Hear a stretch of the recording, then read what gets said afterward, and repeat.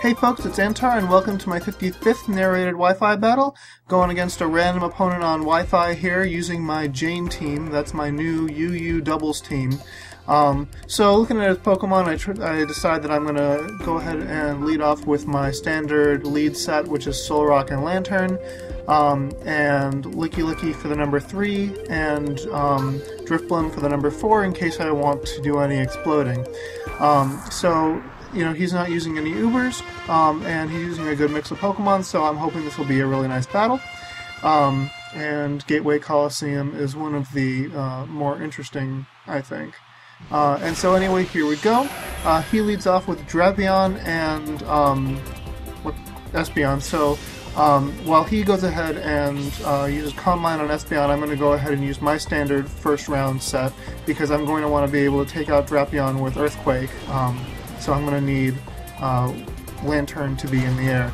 Uh, Crunch does a whole lot of damage to Solrock, and I was really worried it would take it out, but Solrock does survive because it's got pretty high defenses. And so I do manage to get off the skill swap, which is good. Um, and so I will get some healing action with that discharge. Um, but I don't know what I'm going to do on my next turn because um, these guys are faster. Um, but he, I get uh, some parahacks. Uh, yeah, I get parahaxed uh, thanks to Synchronize. But I actually paralyzed both of his guys, which was extremely lucky. So that was actually really cool. And so now um, Solrock should at least be faster, and so as long as he doesn't do any switching out, I should be able to take out Drapion. So I'm going to go ahead and keep doing Discharge, not because it's doing a lot of damage, but because um, I want to get some recovery action on um, Solrock. So Earthquake does in fact take out uh, his Drapion, um, and uh, but it doesn't take out Espeon. Um, I'm hoping that the Discharge will finish it off um, but maybe not. Uh, Espeon uses Psychic, um, but Lanturn is a special tank, and so even after a Calm Mind, that doesn't do too much, although I do get the special defense drop, which isn't great. So here comes the Discharge. Uh, Solrock recovers its health, uh, and so now it's back up to about 50%. Um, and but after a Calm Mind, it's really not doing much to Espeon, so oh well. Uh, got some leftovers recovery action going on, and uh, my opponent sends out uh, Leafeon. So um, I figure that someone's going to be targeting uh, my Solrock, so I'm going to switch into Drifblim, expecting. Um, I actually I switch out both my Pokemon um, because I just really don't think this is a good matchup. So um, I'm hoping for the Leaf Blade to be targeting. Um, uh, Emily, who would have resisted it, but instead it hits Lickilicky and does about half, considering it was a crit. Um, so here comes a Morning Sun on Espeon, which restores its health a lot, which is a shame because after a Calm Mind, that thing's going to be freaking hard to kill.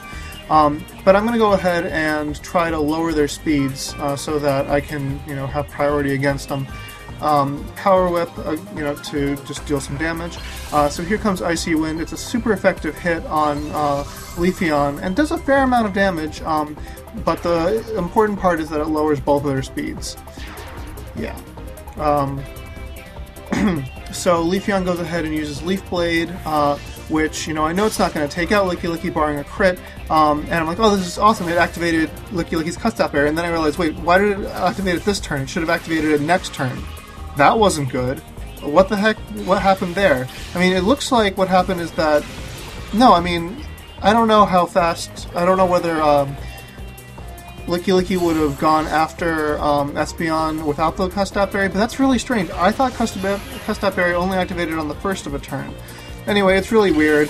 Um, I'm going to keep on doing Icy Wind um, just to try to, you know, get his Pokemon as slow as possible um, so that uh, I can take him out with um, my guys. I can outspeed him with my guys. So anyway, Icy Wind does take out Espeon, who had just been, you know, taking a whole bunch of hits. Here comes Rock Slide, which um, gets a, a, boosted power from the fact that Leafeon's the only one left on the field, um, and considering that Leafeon doesn't resist it or anything, it goes down. So uh, I'm doing pretty well so far this match, and now he's down to his uh, last Pokemon, um, which turns out to be Empoleon. So not really anyone out that can do a lot to Empoleon. I consider what to do. Um, I decide I'm going to go ahead and Calm Mind.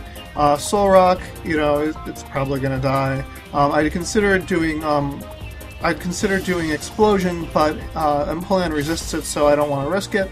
Uh, instead, I go ahead and use Earthquake. um, hoping for the super effective hit. Um, anyway, it doesn't affect Drifblim. I was worried, wondering what did that miss, or did he have a, a fairy or something? But no, it hits. Uh, does not take out Empoleon because Empoleon's pretty darn bulky.